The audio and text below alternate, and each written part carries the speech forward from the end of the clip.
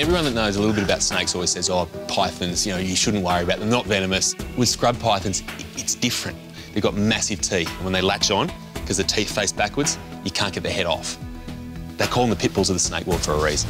I reckon I can see something. A snake? Yeah, yeah. Just be careful because it's facing that way. Yep, yep, yep. It's just past me. Yep. You got it? I've got a head, yep. Got it, mate.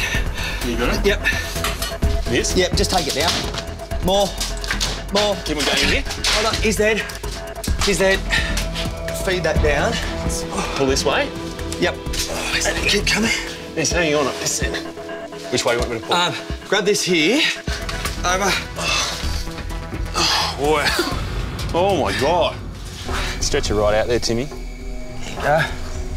What are you at? 4.9 metres. 4.9. She's a monster.